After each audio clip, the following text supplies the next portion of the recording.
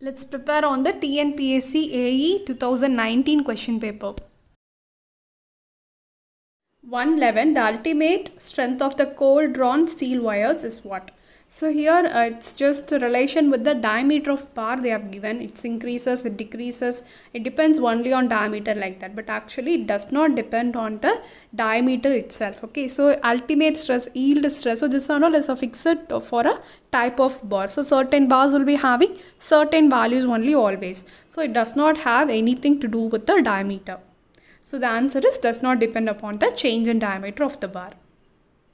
Question 112 uh, match list 1 with list 2. So first let us read out those. So first list 1 it is specific heat of an aggregate, thermal conductivity of an aggregate, thermal expansion and then durability of concrete. In the right side it breaks the bond between aggregate and phase. It's the measure of its heat capacity. So here it's the measure of heat capacity means itself it is specific heat only. So this answer is we know it definitely. So option A will be for the 2 okay and then the next options are it is affected by differences in the thermal expansion of two material and it is the measure of its ability to conduct heat okay so the measure of its ability to conduct the heat is actually thermal conductivity so b will be option 4 so with that itself you can choose the option. If you see the other two means that is uh, the third if you see means it is affected by the differences of the thermal expansion. So what is they are telling here means uh, there will be different values of thermal expansion for different materials. So this will surely affect the durability of the concrete. So why we are using steel in concrete? Do you know that? The thermal expansion that is a thermal coefficient for both steel and concrete is the same value. So only we use steel and concrete for this purpose so that the reinforcement will be very good okay? So this will be affecting. So that option we can relate it to option d. So durability of the concrete is affected by this difference in thermal expansion.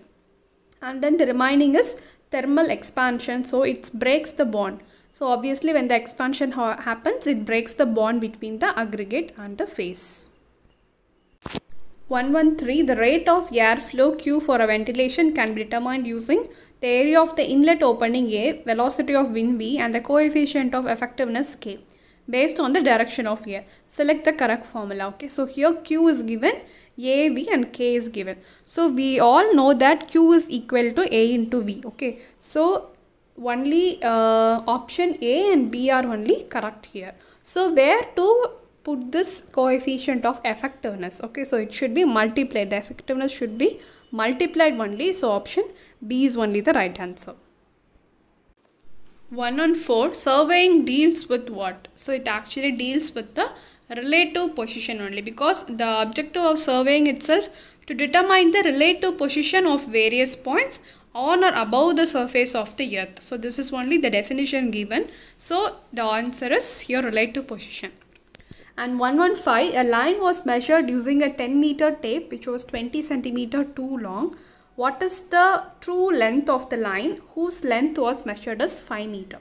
So when this is asked you should do uh, the calculation like this. That is the increased or decreased length of that tape. So okay here the 10 meter tape which is uh, 20 centimeter too long like that it's given. So 20 centimeter means when you convert it to meter uh, it's 0.2 meter so it is 10.2 okay so 10.2 divided by the original length of that tape so it is 10 into the measured distance so it is 5 okay so obviously 5 and 2 it's 2 so 10.2 by 2 you'll get the answer as 5.1 meter but here it's given as 5.01 i think it's wrong here.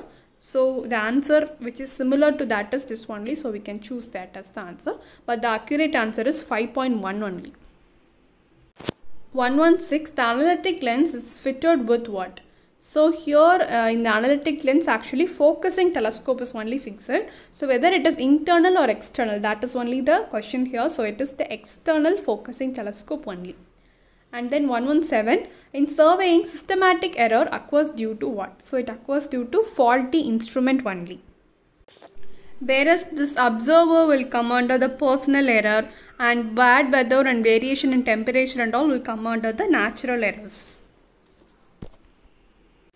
Question 118 The shape of the earth is what? So the answer is oblate spheroid of the radius of nearly 6370 kilometers. So this is also an important thing. And question 119 The GTS benchmark is established by the Survey of India. Question 120 When a member is subjected to axial tensile load, the greatest normal stress is equal to what? So here uh, the normal stress, so this will be studying in the complex stress and strain, no? So Mohr circles, so that we'll be studying this. So there we'll be studying like this, that is tau max will be equal to sigma by 2.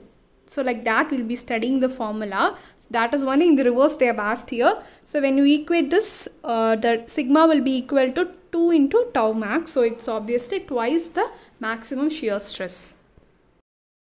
Thank you and keep watching.